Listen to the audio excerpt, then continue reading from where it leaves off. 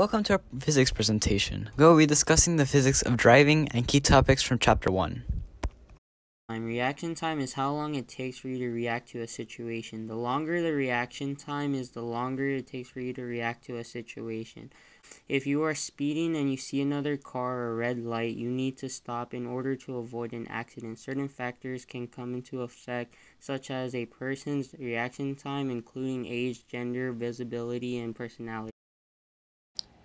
Braking distance is how long it takes for you to slow to a stop while braking. This can vary and depends on different factors, including what type of car you have, the co- condition of your tires, and the road you drive on. It affects your ability to avoid an accident and to safely stop before the intersection. If you double the initial speed, the braking distance quadruples. The yellow light conundrum. In an intersection, there are five factors at play the duration of the yellow light, the initial speed of the vehicle, the intersection's width, the driver's reaction time, and the negative acceleration.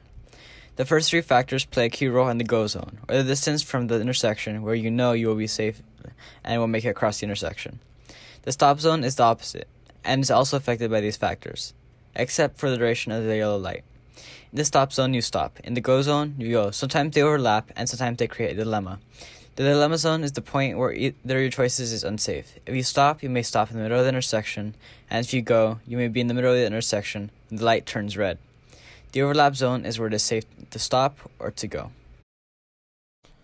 There are many variables that come into play when trying to calculate the go zone and stop zone, these being yellow light time, human response time, speed, negative acceleration rate, and width of the intersection.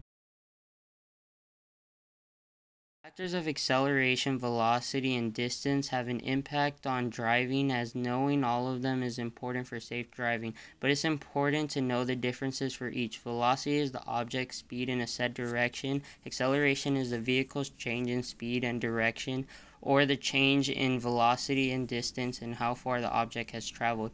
To find these, you need to know some equations. Acceleration in velocity over change in time, speed is distance over time, and velocity is distance over time in a given direction.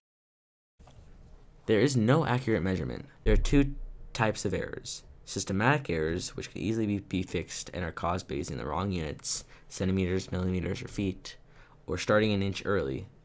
And there's also random errors, which cannot be corrected by calculations.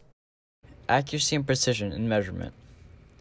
Accuracy is getting close to accepted value, in this case, getting as close to a bullseye as possible.